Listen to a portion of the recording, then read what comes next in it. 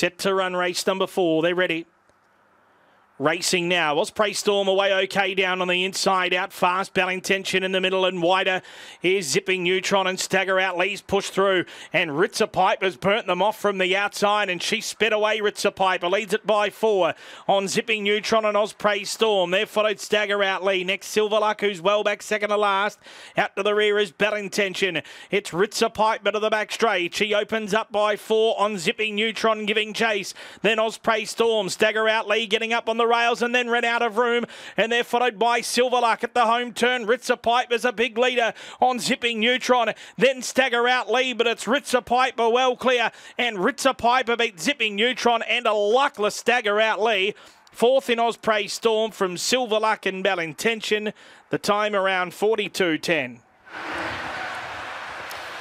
Joe Skerry with Ritza Piper takes her record here at Wentworth Park to seven starts for five wins. She runs 42.16, a length and a half slower than Corborn Magic, but we mentioned pre-race. She had the fastest PB here too.